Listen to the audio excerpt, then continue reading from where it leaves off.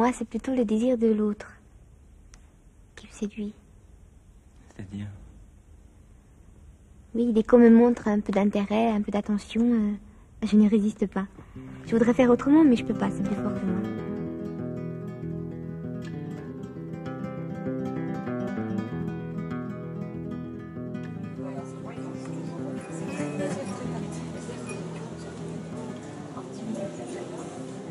Bonjour. Je vais te demander de te présenter à la caméra. Alors, euh, moi, c'est Roxane Milan. Je suis ta sœur. si je commence à rentrer là-dedans, on n'a pas fini. Là. On va s'arrêter là. Alors ne rentre pas là-dedans, on revient plutôt sur Paris. Paris, c'est. C'est Paris en fait. Tu sais comment c'est Paris, toi? Vlog. Un Un anti-vlog anti-vlog. dans cette ville. Bah, y a rien de plus à savoir que ça. Même quand t'es pas à Paris, tu t'inventes des bruits. Parce que tu sais, en fait, tu sais qu'il y a des bruits, et même si tu les entends pas, bah, tu te les inventes dans ta tête. C'est ça Paris. Comme les gens. Vois, tu croises des gens. En fait, t'en croises pas. Tu vas passer à côté des gens. Moi, il y a quelqu'un qui me sourit. Je vais, je vais m'arrêter presque. Je vais me dire, mais waouh, ça va?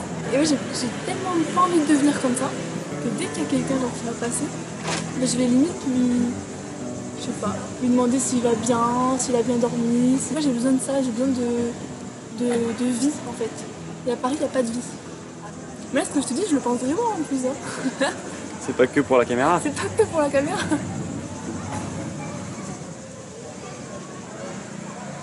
On vit mieux ailleurs. tu me crois assez intelligente pour parler de ça C'est quoi je, je vais te parler de mon plus grand drame dans ma vie. Alors, Allez-y, allez-y.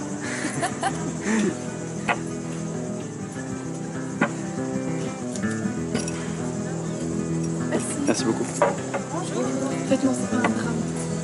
C'est une malédiction. Un extrait de fruits rouges. Les gens pensent que le sirop de grenadine c'est fait avec euh, la grenade. Ils savent pas, ils se trompent. C'est un génie, hein. J'en étais où? Ah oui, ma malédiction. Ça monte à quand j'étais gamine. Avec mon père, mon frère. En fait, on m'a toujours dit que j'étais bête. Enfin, c'est pas ça, mais je suis toujours passée pour la bête de la famille. Et du coup, eh ben, j'ai commencé à être bête de moi-même, à faire la bête.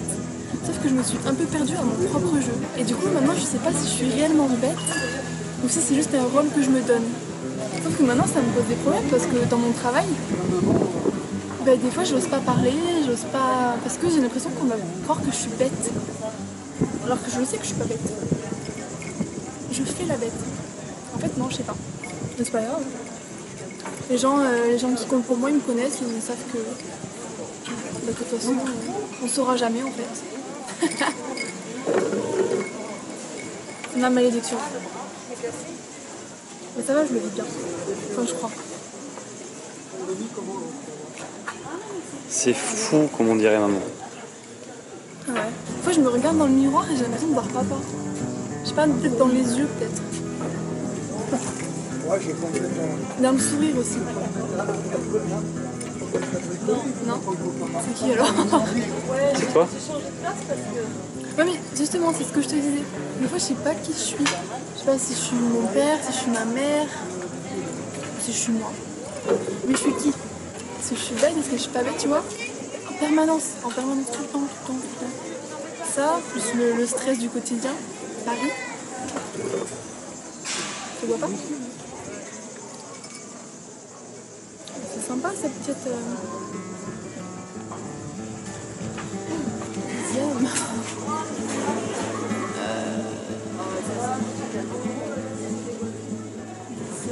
Hommes avec un grand H. En fait, il y a tellement de choses dont je suis pas sûre. Moi, je suis très très attachée aux hommes de ma famille. À mon grand-père, à mon père et à mon frère. Et ils ont tous quelque chose à m'apporter. Quand tu me parles d'artistes, d'artistes Parce que si je perds l'un d'entre eux, mais je me perds moi-même. C'est ce que je peux te dire sur les hommes. Après le reste, j'ai pas assez de recul pour, pour en parler. Je peux pas en parler comme ça. À la vue de tout le monde, je peux pas.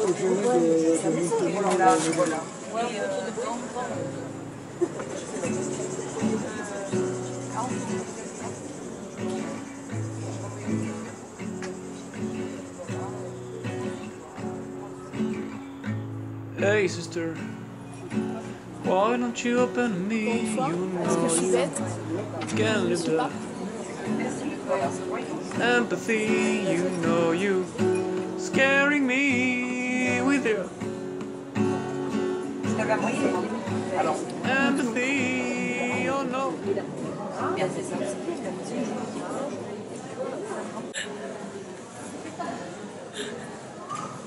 Oh putain. Tu vois, je m'amuse bien avec moi. Donc on reprend parce qu'on n'avait plus de, plus de place sur la carte. Parle-moi de ton rapport à l'enfance. Ouf. Oula. J'ai encaissé pas mal en fait. Je, disons que je comblais des, des rôles. En fait, je pense que j'ai été très rapidement confrontée à, à la réalité. Et ça a des répercussions sur mon quotidien aujourd'hui parce que du coup, bah, je suis tout le temps en train de me mettre à la place des autres, tout le temps en train de me demander si, euh, je fais les bons choix, si, comment les gens vont, me trouver. euh. Et ça, je pense que c'est lié à mon enfance. Parce que du coup, bah, quand j'étais enfant, euh, bah, en fait, j'avais l'impression d'être tout le temps testée par tout le monde. Moi, franchement, j'aurais tout donné pour ma famille. Et tout. Et encore aujourd'hui. Hein. En pause.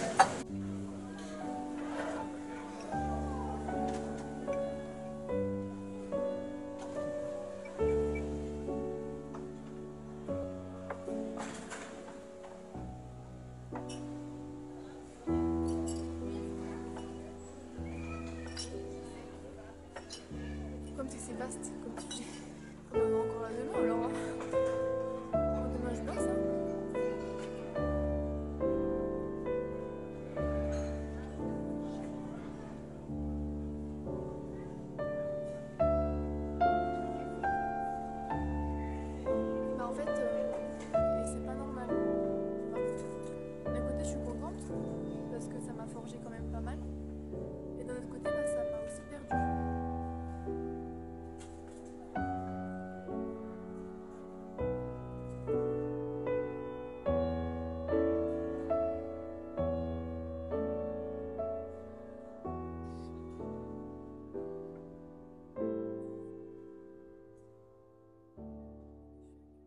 L'art.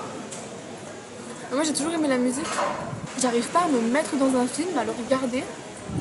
Je sais pas, j'arrive pas. L'art, je trouve que c'est quelque chose de, de beau, d'original. Et pas intelligent, mais euh, avec une histoire. Ça n'a pas, ça a pas de sens. En fait, euh, je me suis trompée. Moi, ça m'arrive souvent. hein. Parfois, j'ai l'impression que j'ai manqué un truc.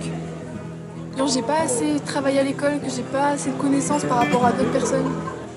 Faut que je trouve ce qui m'intéresse. Mais j'ai l'impression que j'ai pas grand chose à, dire. J'ai plutôt écouté. Là, tu me demandes ce que je pense de l'art. Bah, je sais pas quoi te répondre. Je dis que c'est beau alors que c'est faux.